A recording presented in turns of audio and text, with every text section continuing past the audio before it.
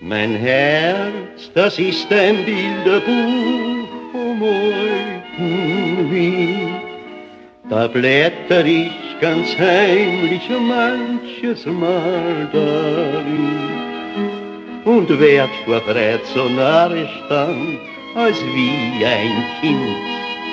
Wann ich Fiaker und die Burgmusik drin bin. Backstage Tirol Cycling Team, auch heuer wieder exklusiv für alle Radsportfans. Der Blick hinter die Kulissen beim größten Radsportevent des Landes. Tirol Cycling Team für euch vor Ort. Viel Spaß beim Schauen.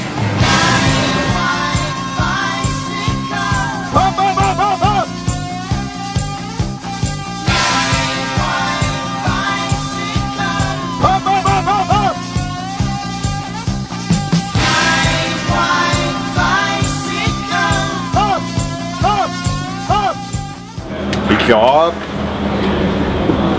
wir werden ein paar Mal richtig aufzeigen. So, so richtig, so dass ich sage, nachher, dass du mit der Ganselhaut nach der Etappe beim Waschen stehst, weil es so kalt ist. Erste Etappe Mannschaftszeitfahren, Prolog, Mannschaftsprolog, muss man schon sagen, haben wir erfolgreich abgeschlossen. mit Betonung auf abgeschlossen. ja, es war ein bisschen hektisch, ein bisschen chaotisch, ein bisschen viel Eisenbahnschienen am Ring.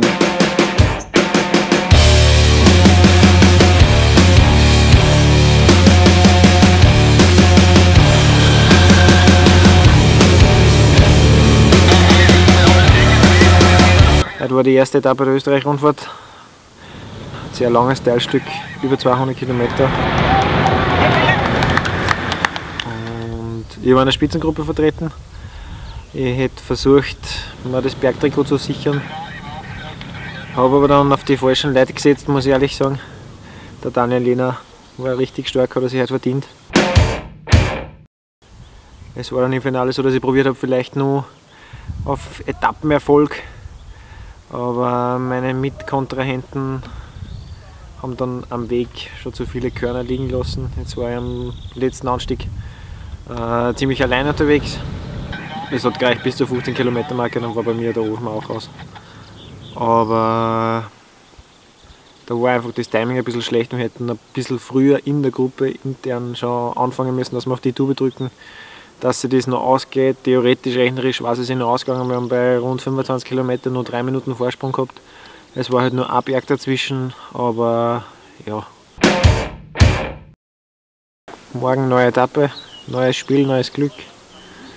Es wird sicher wieder ein harter Tag, aber ich freue mich schon.